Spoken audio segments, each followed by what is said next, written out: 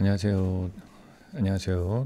장PD입니다. 오늘은 제가 또 설레이는 마음으로 읽게 될 이 책, 어, 또 몇 권의 책들을 함께 이야기를 해드릴게요.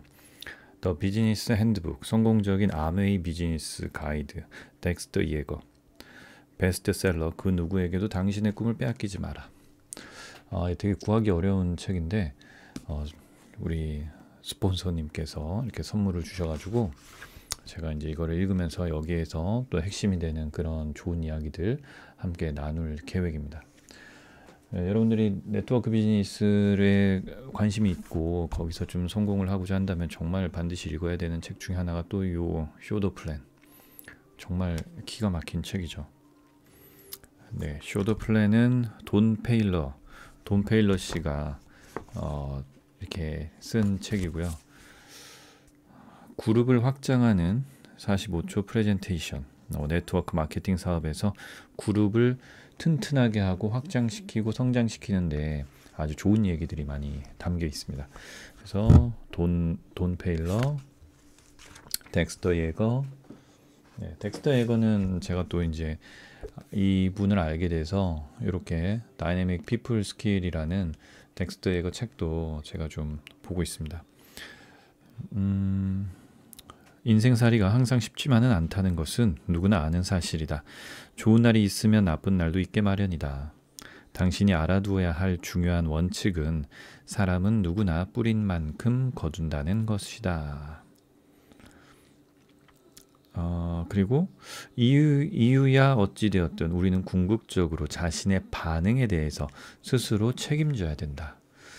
어, 뭐 다양한 이 사람들을 만날 때 생각하는 뭐 본능적으로 말하고 행동하는 게 아니라 좀 더 이 스킬 기술적으로 좀 더 나를 성장시키고 업그레이드를 시키면 훨씬 더 내가 원하는 바를 함께 만들어가는 데 도움이 됩니다.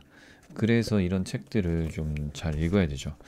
이게 이제 네트워크 마케팅에 도움이 되는 책 이것뿐만 아니라 제가 전자책으로 부자 아빠 가난한 아빠의 Business School 그리고 뭐 데일 카네기 인간관계론 이것도 꾸준히 보고 있는데 제가 또 만난 최근에 만난 몇 년 안에 만난 책 중에 정말 인상 깊었던 책은 이거죠. 정말 최고의 책인 것 같아요.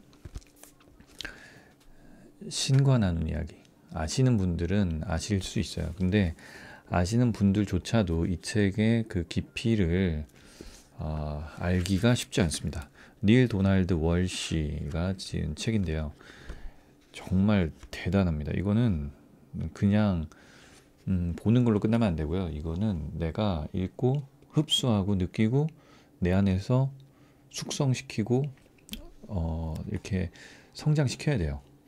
정말 대단한 책입니다. 이 책을 바탕으로 아마 Secret이나 뭐 밥 프록터나 이런 분들이 또 영향을 받지 않았을까 하는 개인적인 생각도 합니다.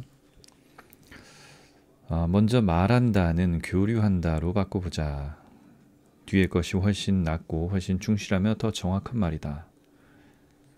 우리가 서로에게 즉 내가 너희에게 너희가 내게 얘기하려 할 때 우리는 곧바로 말의 한계에 갇히고 만다. 이 때문에 나는 말만으로 교류하지 않는다. 사실 내가 말로 교류하는 일은 거의 없다. 내가 가장 자주 쓰는 교류 형식은 느낌이다. 느낌은 영혼의 언어다. 만일 네가 어떤 것을 놓고 무엇이 자신에게 참인지 알고자 한다면 네가 그것을 어떻게 느끼는지 살펴보라. 정말 여러 가지 인생에 있어서 되게 깊이 있는 이야기들이 담겨 있어요.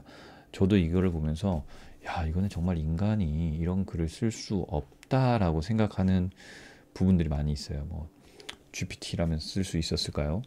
알 수 없지만 옛날에 나온 책이고요. 이 옛날에 음, 만들어진 지어진 쓰여진 책이죠. 정말 엄청난 내용들이 담겨 있습니다. 그래서 뭔가 인생에 있어서 좀 변화를 원하신다면은 이런 책을 한번 좀 진지하게 깊이 있게 한번 읽어보시면 너무 좋을 것 같고요. 그리고 뭔가 이 사업을 인간관계를 통한 사업을 좀 확장시키고자 한다면은 유명한 사람들, 어, 덱스터 예거나 그리고 돈 페일러 그리고 뭐 데일 카네기 로버트 기요사키 이런 분들의 책들은 꼭 필수적으로 읽어보시면 참 좋을 것 같습니다. 자, 2023년이 벌써 2월이 지나가고 있습니다. 어, 2023년에는 정말 더욱더 성공하시는 그런 시간들, 여러분들의 모든 사업에서 더욱더 성공하시고 더욱더 성장하시는 그런 시간들을 만드시길 바라고요. 저 역시도 함께 그렇게 성장해 가겠습니다. 많이 응원해 주셔가지고 너무 감사드리고요. 그리고 저도 계속 성장하면서 또 소통하도록 하겠습니다. 감사합니다.